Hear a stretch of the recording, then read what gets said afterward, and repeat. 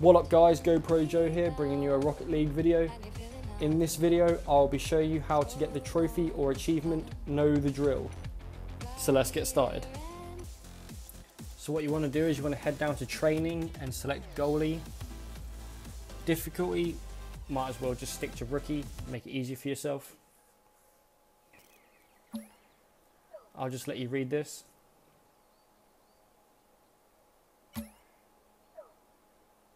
Now it's uh, pretty self-explanatory. You just have to stop the ball from going in the goal. I'll show you a quick demonstration.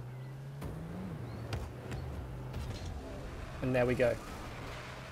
Just keep doing this for every single shot and the trophy will pop up. I'll let you guys watch the video now and uh, please like and subscribe.